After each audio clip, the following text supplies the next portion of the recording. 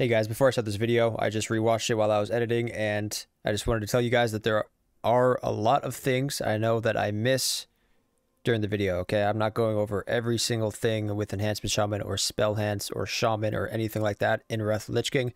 This is just a short, well, I wanted it to be short, it ended up longer than I wanted it to be. Um, but I just wanted a video that when people ask me what my gear is looking like, what my talents are, uh, my add-ons, anything like that, then I have this video to send them to. Um, so just keep your eyes open for a more comprehensive, in-depth video that I'll be making within the next couple weeks, which is going to be much longer. It's going to go over everything. Um, you're not going to have any questions because I'm going to try to hit everything that I can. But if this video has anything that I missed that you really want to know, you can just ask it in the comments and I can get back to you. Um, or join the Discord and ask me there. But yeah, I just want to let you guys know. So there are a lot of things I missed, but just bear with me, okay? Enjoy the video. So for gearing, this is what my current character um, setup is for Wrath of Lich King. I've gotten a lot of really good pieces in the in the past um, couple weeks of, of raiding, but for the videos that I posted, I'm just gonna replace the pieces that I kind of upgraded since then. I think it looked something like something like this. I think I had the two piece. I didn't have the four piece um, set bonus yet, which is insane. And it's just the Cataclysm 4 set from TBC but it still is really good in Wrath as well. Five percent, basically five percent more haste, um, just forever. I mean, your your up your your uptime of flurry is, is pretty high. Um, and then I think I had a, a, few different pieces here and there, but this is kind of what I was looking like for the videos that uh, that I posted on my YouTube of like Thaddius and Gluth and and um, Anub. So I'm not gonna go too in depth about how you should gear your enhancement shaman in Wrath yet. Um, I'm gonna save that for the more comprehensive video, but a couple things that I just wanted to mention is that you will be wearing a spell power main hand weapon. The reason for that is because main hand weapons have a ton of spell power just statted onto them. You're not going to find any other item that has 455 spell power, 457 spell power on it. Um, the reason for that is because a lot of your damage is spells.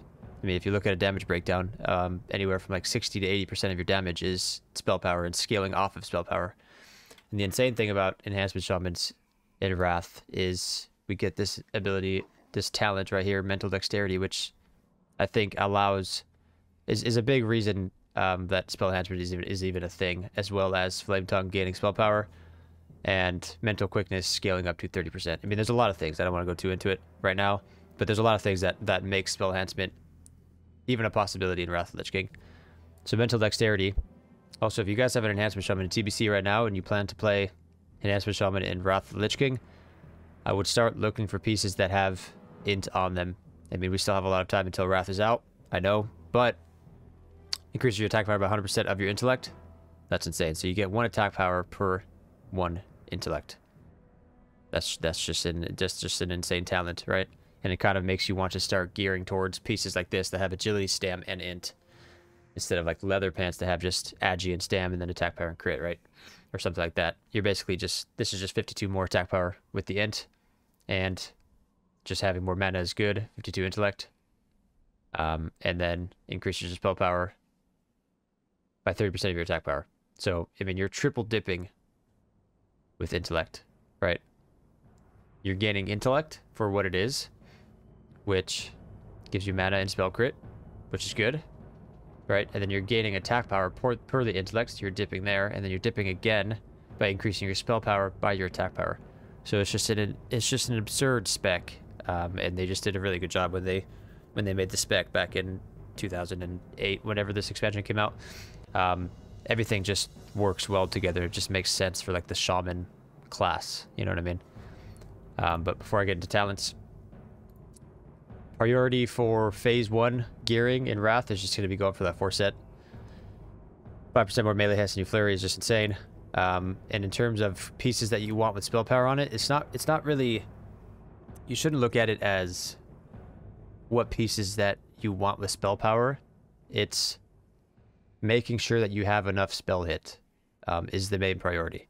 The reason that that you have spell power pieces in the slots that you do um, if you've watched other enhancement shot videos, spell enhance videos, or anything like that, um, the pieces that they recommend you that they recommend to you to, to have spell power, spell power pieces in are the pieces that are the slots that usually don't have a lot of hit tied with them, right?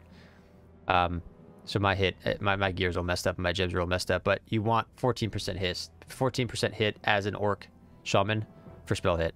Okay, so 14% plus the 3% from the improved faerie fire from balance rouge and raid, or the shadow priest. It doesn't matter. They don't stack, so just one or the other.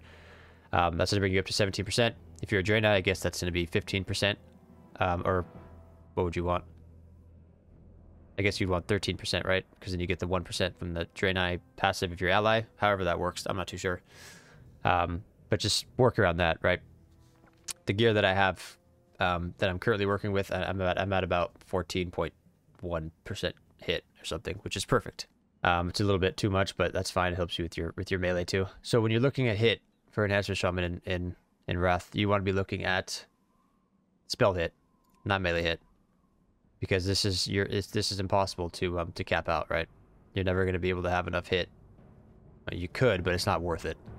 The most important thing is um, is your spell hit, because you want to be hitting the lightning bolts, you want to be hitting the fire novas, you want to be hitting the shocks, you want to be hitting everything. So the pieces that you're going to have spell power on are most likely going to be like necklace, back, which I still have an attack power agi haste, but this is a good cape though. It has haste. Um, just to be necklace, cape, your main hand, your rings, and then your trinkets. But meteorite whetstone is just you can't you can't beat this item. Haste is your most important stat as an enhancement shaman in Wrath of Lich King, at least if you're playing this spec. Um, or if you're playing the spec this way, haste is just insane, and this is almost like a mini DST. Um, so yeah, so it's to be neck, cape, main hand, rings, and trinkets. And if we wanted to go over what my current gear setup is, this is what I'm looking like right now. I have the four piece, so 5% more melee haste than my flurry. I have blue aspect helm, which is my phase one bis helmet. This is from 25 man Eye of Eternity. Insane, insane piece. I mean, it's just insane. It has 51 haste, 202 attack power, a lot of crit, has all the juicy stats you need, agi, and it has everything. Okay, this is an amazing piece. Um, Wraith Strike, which is actually pretty damn good um, in phase one. I don't know if it's phase one bis. I think um, the hammer from KT is probably better. Um, Torch of Holy Fire is probably better. Even though it has MP5, it has haste and spell power. Which, yes, this has haste too, but this just has a lot more spell power, which is just what you're looking for, right? And it's faster. Which, I don't really know the argument if you want faster or slow weapons. Um, I've talked to a lot of people about it. And I think on P servers, at least. I don't think Flame Tongue is scaling correctly. I don't think it's working as it's as it's supposed to. Flame Tongue weapon. Um, I don't think it's I don't think it's hitting based off of the speed of the weapon correctly. I could be wrong. I still have to put some more thought into that and, and, and try to figure that out. But um, in my head, faster weapons would just make sense, right? The faster weapons you have, the more times you're going to be hitting, which means the more Maelstrom weapon procs you're going to be getting per minute, right? Which is just more lightning bolts, which is more chain lightnings, which is just more damage. So, if Flame Tongue is equalized across the board, um, if it's a slow weapon or a fast weapon, then in my head, faster weapons just would be better for more Maelstrom procs, right? Dying Curse is an insane trinket. I got this. It says 71 hit, so it allowed me to gem a lot more haste. You'll see if you look through my gems, I just have a lot of haste everywhere. Haste, haste, haste. Just a lot of haste. Um, haste is, is just amazing for an for Summoned Wrath. And the proc chance on this is spell power. So that's just absolute juice. Just an absolute juicer of a trinket. This ring is really good, just Argent Crusade Exalted. This ring is insane too. Yes, I know it has Agi Stam, and I said that you could gem, or you could gear spell power rings, but this has 28 hit and 41 haste. And it's not like you're losing stats with attack power and agi. You're still gaining spell power with attack power and agi, right? So it's fine. Um, but yeah, I don't want to get into the gear too much. Now with talents, there's two, there's two different kind of builds that you can go. Um, there's not a lot of big differences. This is my PvP specs, so don't pay attention to that. Um, ancestral knowledge. So the, the really the, the big difference here, the big big difference here. There's a lot of small differences that you can make with like if you want shamanistic focus or not, if you want elemental focus or not, um, things like that. But the biggest change is if you want ancestral knowledge, or if you can take this, If you if you can't if you, if you need enhancing totems in the raid, um, there's there's a lot of arguments about this and, and conversation going on around this, but um, I try to avoid taking enhancing totems as an enhancement shaman. I know that it increases the damage or the effect of your strength of earth by it adds up to 15%, which is a good amount for you and just for the raid in general, right? It makes it better than Horn of Winter. Um, but if you put three points here, you only have two points here, so you're missing, what, 6% of your intellect? Which 6, 6% of around 14,000 or 15,000, 13,000 mana, however much mana you have, um, is a lot of what you're missing out on is attack power by not having good intellect, and you're missing spell power by not having good, attack power. So you're missing a lot of damage, and you're just missing a lot of attack power and spell power and everything if you don't take five points in this. So try to make your Resto Shaman take enhancing totems. Honestly, that's that's what I can recommend. Um, you don't need Improve Wind Fury Totem unless you don't have a Frost DK. You just don't need this. The base melee haste is 16%. This brings it up to 20%, which improved Icy Talons does anyway, so you just don't need this, okay? Um, a few things that you could change up here is you could put three points into here and not put a point in Shamanistic Focus. Um, but you're not like missing a lot of damage by not putting a point in this. Lightning Shield is is it does good damage with um, Static Shock, which is a talent that is um, added to the Enhancement Shaman toolkit in Wrath. Basically makes your lightning bolts, your, your lightning shield have a chance to just do damage to the target. Just a 6% chance. Um, but it, it, I mean, it happens often, right? Because you're hitting so fast. So it's good. It does about anywhere from like five, like around 5% of your total damage at the end of a fight, which is amazing. Trust me, this is, this is worth taking. But if you look at this, this is just adding 5% more damage to that 5% of your total damage. So it's not insane. I would rather just make sure I don't go oom. But to be honest, if you're in a 25 man, you're not going to really go oom ever with the uptime of Shamanistic Rage being a one minute cooldown now. Just so many raid buffs and just, just you just don't really need. Mana is just not an issue for you in 25 mans. But it can be in 10 mans or heroics, right? So it can just be kind of annoying.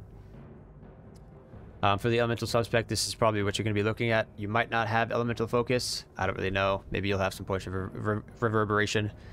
But what I found most successful is concussion. You definitely want three points of element elemental devastation. Three, three points of cold flame is a must. Um, 5 point elemental fury. This is just absurd. just insane damage increase. And you definitely want 2 in improved fire nova. Um, and everything else is pretty baseline. I could just scroll through this for you guys a couple times if you want to pause it and just copy and paste this build, but... Um, now for add-ons, if you guys want a lot of my add-ons, like the important add-ons that you see me using um, in, in Raid, you can head to my Discord. There will be a link for my Discord in the description of the video. Head to the Discord, um, go down to the Wrath of the Lich King um, channel of the Discord, and then there should be all my add-ons um, in compressed folders there that you can download. But the most important ones, I'll just show you. I guess they're not super important, but they are really helpful. I mean, it's, it's basically just a weak aura, right? It's called Power Aura. You can find the download in um, my Discord. But it's pretty much just a weak aura, right? Yeah, look at that. Dying Curse procs off of me putting Flame Tongue Weapon on my weapon. I don't know if that's intentional. It also procs me dropping my totems. It has a chance to proc off me dropping my totems. I don't know if that's intentional. I don't know if that's how it's going to work in Wrath. No idea. Um, but it doesn't sound correct. But anyways, Power Aura, which is this Power Aura's classic right here, which is a really cool little like weak aura kind of version of an add-on. I just like it just because it's customizable. It, I just have fun with it. Basically what it does is if I don't have Lightning Shield up, shows a weak aura for it. If I don't have my Magma down, shows a weak, weak aura for it. You see this right here? That is my Meteorite Whetstone procking. And it shows the timer. So I kind of see when I have my trinkets procced, right? And then this is cheese. This add-on is called cheese when you have five stacks of Maelstrom procced. Um, this pops up. Just gives you an instant lightning bolt or chain lightning, whatever you want. This is dying curse right here. And then this is berserking. I only have Berserking on my weapon. Also, for a chance, you're probably going to want Berserking on both weapons. I think that just has seemed better in the past. Um, but I know Black Magic sounds really fun. You could do Berserking in the main hand, Black Magic in the offhand if you really want. I, I don't know. I, I think Berserk two times Berserking is just better, though. Um, so this is pretty much all power auras down here, right? So if I put Lightning Shield up, just a weak aura. I drop Magma Totem. I'm good to go. Zerking Meteorite Whetstone. Dying Curse is going to pop up here on the left whenever that rocks. Um, what else do I have? Those are the big ones. Cheese and Power Auras, which, again, guys, it's just a weak aura, so don't um, get, you know, too confused about it. It's just a weak aura, basically. I use KUI nameplates. I don't know if I'll use that in retail. I might. It's just a prettier looking nameplate, and the nameplates on this server just look really bad, in my opinion. Um, add-ons. I don't really have a lot of add-ons, to be honest. Or uh, macros. It's just Start Attack on Storm Strike, Start Attack on Lava Lash.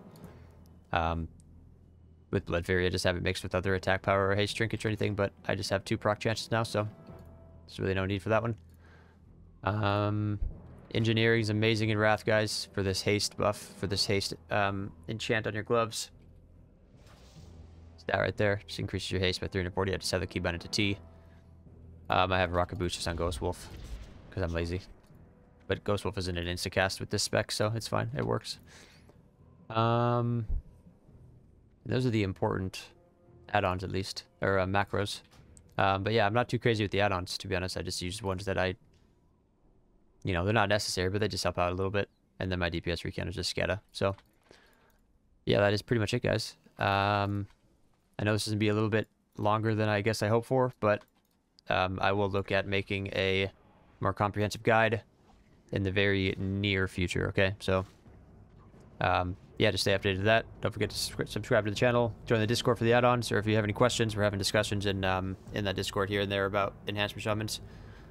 And that is pretty much it, guys. Thanks for watching. I appreciate you, and I'll catch you uh, next time. Peace.